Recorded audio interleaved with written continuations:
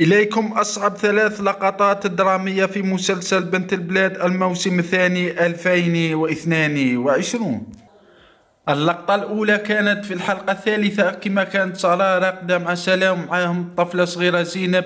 من بعد دخلت عليهم عائشة وطاح لها من شدة الصدمة.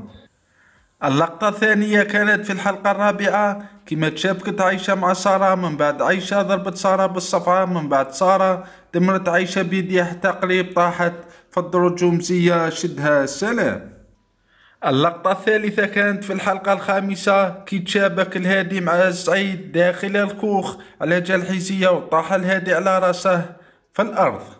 في رأيكم ما هي أفضل لقطة من ثلاث اللقطات؟